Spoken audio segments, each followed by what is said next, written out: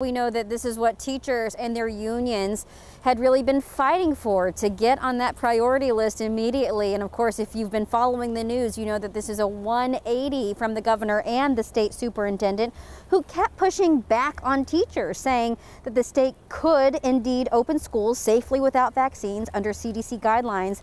Instead, the state kept focusing on healthcare workers and people older than 65. Well, that changed yesterday when President Biden said that he would like educators to get their shots by the end of March. It was welcome news for educators, offering them a sigh of relief.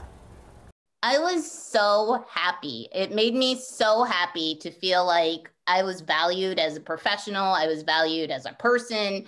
And it also made me really happy to think that maybe you know, maybe now we can go back to school if we get vaccinated, and then maybe I can finally meet some of my students, which would make me really, really happy. There are roughly 160,000 public and private K through 12 school employees in Washington state. They can start making appointments right away and the same goes for daycare workers as well. But now is the second issue. Uh, when will they be able to get their vaccine? As we know, there has been a supply issue. That is something that we've been covering for several weeks now.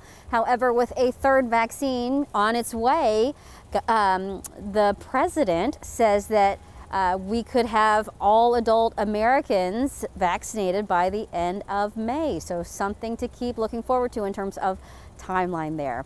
That's a story from Shoreline this morning. Michelle Lee, King 5 News.